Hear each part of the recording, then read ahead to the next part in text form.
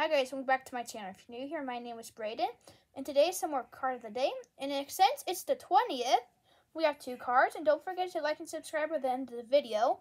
And so also, we have a special guest here today. It is GamerazJ. Oh!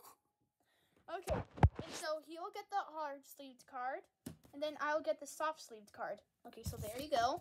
And so the soft sleeved card, it is from Chilling Reign. It's number eight. It starts with a C, and it's a VMAX card. Okay, so today's card of the day is Celebi VMAX. This is today's card of the day, and now Damon will show you the hard sleeved card. It is this one. It is Zacian V. and it is 211 out of 202. That is correct. Looks pretty nice. It looks pretty goldenish in the background. Mm-hmm.